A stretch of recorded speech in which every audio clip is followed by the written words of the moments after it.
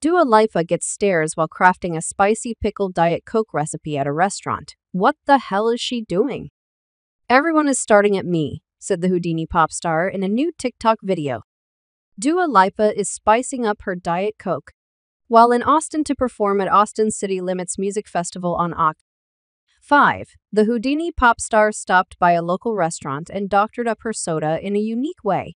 Her concoction caught the curious eyes of onlookers, according to her TikTok video. Lipa started by pouring out a Diet Coke can into a plastic cup. She then did the unexpected. She poured pickle juice in the soda.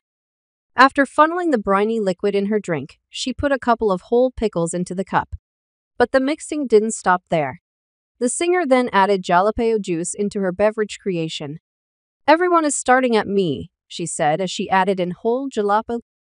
The lady in the back is like, what the hell is she doing? After mixing everything together, she took a sip and then handed it off to her table of friends, who had very mixed reactions.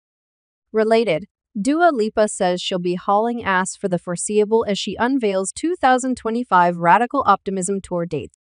It's randomly not bad, one friend said, while another said, Oh, that one's really pickly.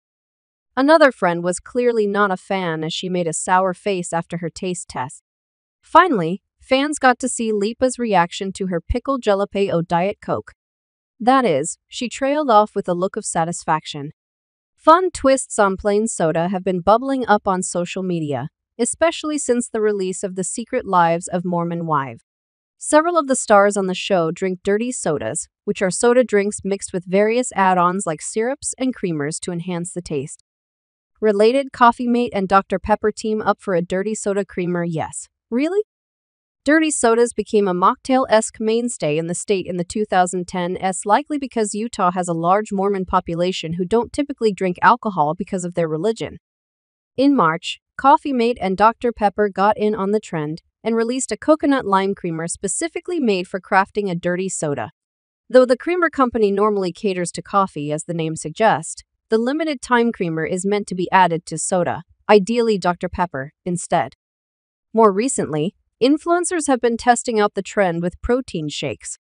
Wishbone Kitchen's Meredith Hayden tried it and gave it a rave review. Wow, that is phenomenal, she said. If you like a Coke float or a root beer, float, this is like identical. For more people news, make sure to sign up for our newsletter